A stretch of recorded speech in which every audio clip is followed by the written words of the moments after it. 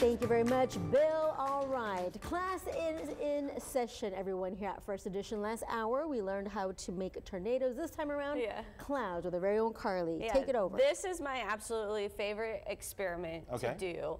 Um, tornadoes are fun, but this like is a very similar uh, way of how the atmosphere actually works. And you can just do it right here inside this bottle. And so essentially to make a cloud, everybody, most people have heard of the water cycle, right? You have to have evaporation, Mm-hmm. condensation, precipitation, then groundwater surface it sounds like a song. It's a cheer. There actually. you go. Something. I know I've said it before. Um, and so to get evaporation, you need heat from the sun, right? Uh, We don't have heat or sun in the studio. No, we do No, not. don't. We do not. In fact, it's cold here most of the time. It is freezing here all the time. But um, a way, uh, something uh, that you can use math to figure out is the, uh, there's an equation known as the ideal gas law that relates pressure and temperature. So in order to create our cloud without sunlight, we are going to create uh, water vapor and condensation, so evaporation and condensation by changing the pressure inside this bottle. Okay. And so we also have a fun fact. Um, we're going to be a little dangerous here on First Edition. I see. Uh, every you weren't this dangerous Every day in we class at the school. So. Uh, yeah, well, I didn't have a chance to talk to uh, his teacher To to make sure okay. it was okay to use flames. but uh, so I love this little fun fact. So you can't have clean air.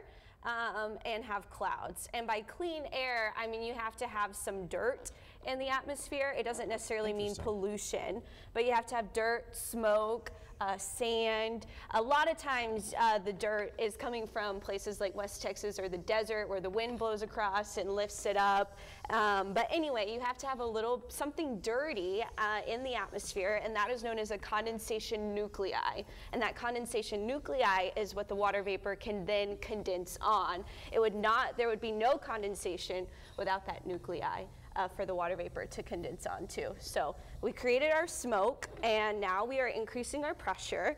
And then when we drop the pressure, so you can feel the bottle and it's kind of hard, which is all the high pressure. Oh, so this is simulating high pressure. So when I show that big blue H on the map, that's high pressure, that's sinking air. And then when you get low pressure, I did that on a surprise. Sorry to our awesome. director Blake, but we got it. Um, That's right. Yeah, so when we drop the pressure and you have low pressure, then that's how you get the cloud to form. That's He was ready. Now I know why Yep. you have amazing guns Yep. there, Carly. Doing all that all stuff. the, all the That's pumping, right. yeah. Every time. Um, but yeah, so low pressure leads to more cloud coverage, high pressure leads to more sunshine, and of course there's small nuances in the atmosphere as well. But if you don't have like a bike pump or a cork, because you need a bike pump, a needle, a cork, um, or an air pump like for balls as well, a lot of people might have that. Um, then you can also do it in like a water bottle. Take a water bottle, drink a little water, you know.